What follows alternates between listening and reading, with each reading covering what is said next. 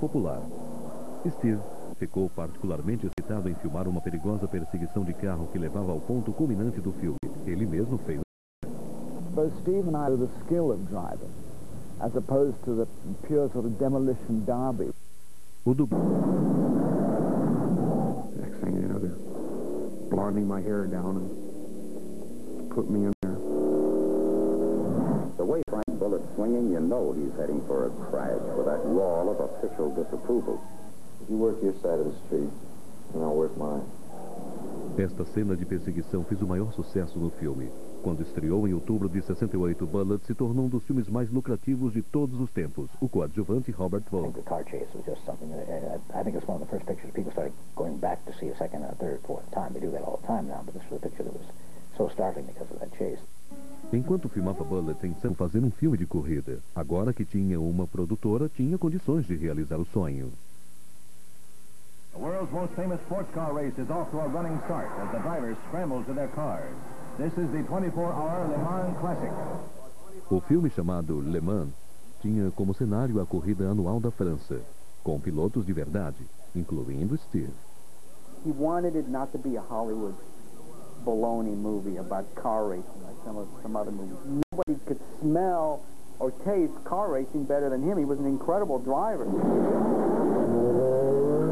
Dos filmes que participou, Le Mans foi a produção mais cara. Ele contratou 52 pilotos de corrida, equipes dos Estados Unidos e da França e centenas de figurantes para cenas com multidão. Para dirigir o filme, Steve contratou John Sturges, diretor que fez de Steve um master nos filmes The Magnificent Seven e The Great Escape. Em junho de 70, Steve começou as filmagens na França sem script. Ele insistia que John filmasse as provas dia após dia, o que custava muito caro. Enquanto isso, Steve continuava destruindo scripts escritos por três autores diferentes. Nenhum script era bom o suficiente para o tão sonhado filme. Racing would be a great background to a story. I believe that Steve felt racing would be a great film with some story around it.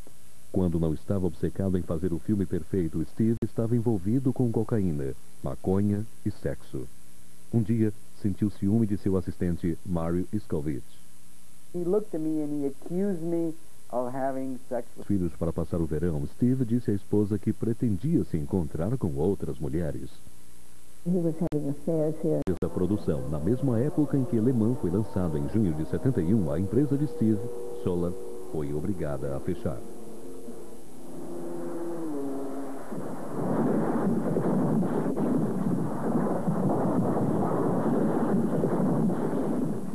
Mas de tudo que havia conseguido.